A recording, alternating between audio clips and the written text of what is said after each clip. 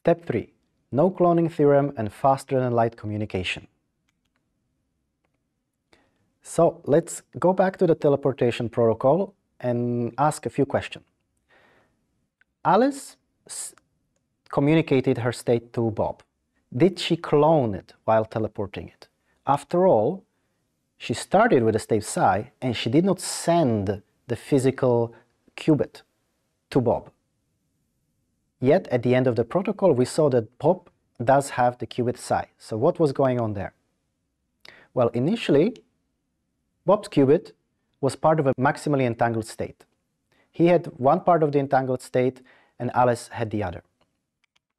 At the end of the protocol, Alice, Alice's qubit A1, eh, was part of a maximally entangled state. She performed a measurement, measurement in the Bell basis and that projected her two qubits onto one of the four possible Bell states where all of them are maximally entangled. So what that means is that initially the state of the qubit A1 was psi and the state of the qubit that Bob uh, had in his possession was a maximally mixed state. And then after the protocol, the state of Alice's qubit A1 became the maximally uh, mixed state, whereas Bob's qubit became the state psi. So we see that there was no cloning or copying of, in, of, of the state, even though there was no direct physical transmission of the state psi from Alice to Bob. But this is an interesting question. Is cloning possible? And let's, let's, let's have a look at it. So let's only consider cloning of pure states. And let's say that we've got some device. This is our cloning, hypothetical cloning device. And how it works is that it's some, some unitary, and the input states is some arbitrary state psi with some uh, um, other state which is initialized in state zero. So it's a two qubit input state, and we've got a two qubit output state where both of the qubits are now in the state psi. Now the question that we are trying to answer, is such a transformation possible? What does the unitary look like that can achieve such a transformation? For example, if we start in the state 0, 0, after applying our cloning unitary, we would like to obtain state 0, 0. That makes sense. If we start in the state plus 0 and apply our cloning unitary, we would like to obtain as output states plus for the first qubit and plus for the second qubit. And so on and so forth until it works for a general input state. So, before we present a, a, a, proof of what's going on, let's consider some examples to get some intuition. And let's consider a CNOT gate as our uh, unitary U. So a CNOT gate is represented here in the Dirac notation or here in the matrix notation. What this really means is that if the state of the first qubit is zero, then apply the identity to the second qubit, meaning don't do anything. If the state of the first qubit is 1, then apply Pauli X to the second qubit. And let's consider some inputs. So first, let's try a very simple input 0, 0. If we apply CNOT, you can check for yourself, the output is also 0, 0. So, in this case, we can say that we have cloned the qubit even though we haven't really done anything. Second case is more interesting. We start uh, in the state 1, 0. So now we are trying to clone the state 1. And, as we said, if the state of the first qubit is 1, we apply the Pauli X to the second qubit. And in fact, our input state is in 1 and our second state is in 0, but after application of the Pauli X, it flips into 1. So we went from input 1, 0 to output 1, 1. So again, we have cloned our state. How about if we consider a superposition of 0 and 1 as our input? So our total input is psi 0. In this case, if you apply the unitary CNOT, you will see that you obtain an entangled state 0, 0 plus 1, 1, which is not the product state that we were aiming for. We were aiming for plus plus. So in this case, cloning has failed. at least with uh, this example of CNOT and this particular input. So, let's look at the cases when it worked and then when it didn't. It worked when we were trying to clone the state 0 and the state 1. But it failed when we were trying to clone some superposition of these two states. So it appears that we can only clone states which are orthogonal. Well, let's try and uh, prove it. Let's say that we are trying to clone an arbitrary state psi.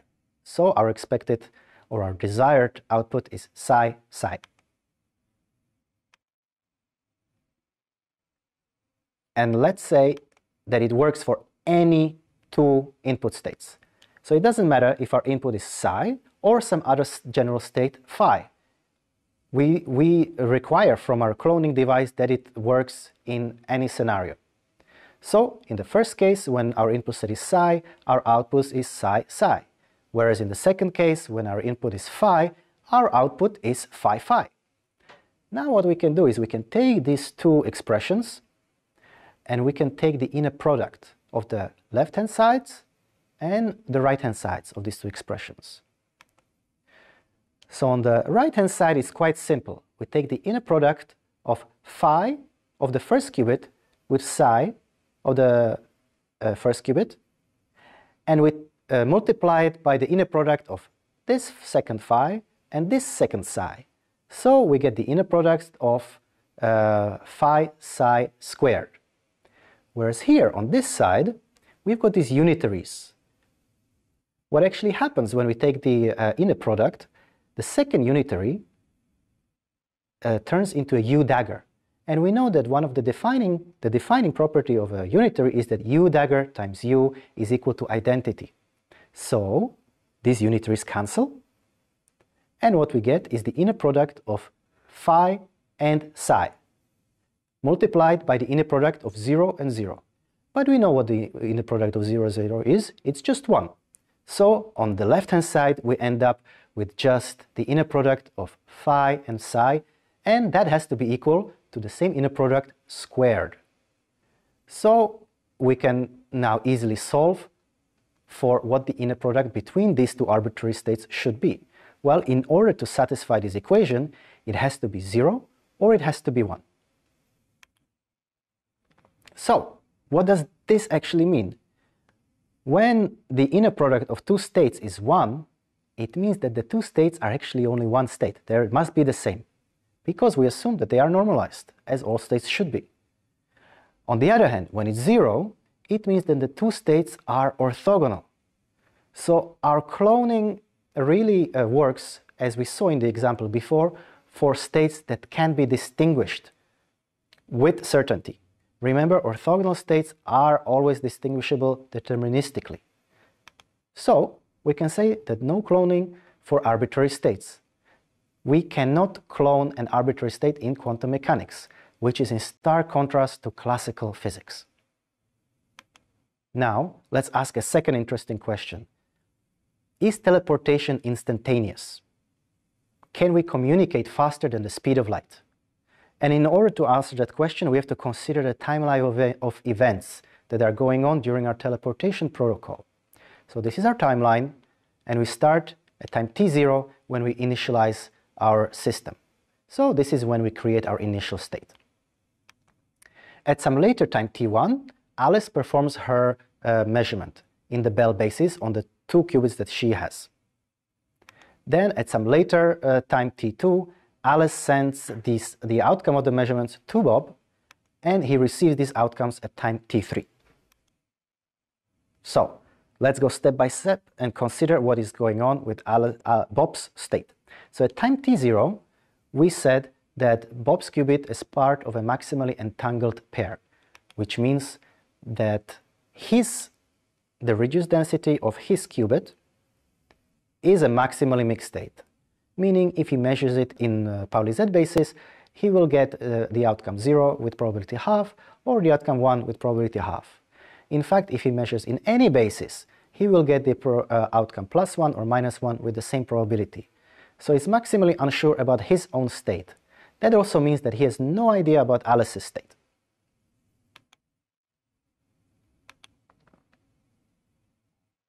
Okay.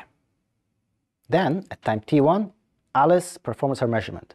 So just before the measurement, the total state of all three qubits is given by this expression, which we derived in the previous step. So we can rewrite the initial state in terms of uh, the Bell basis for Alice's qubits, which leaves Bob's qubit in these following states depending on which state Alice has.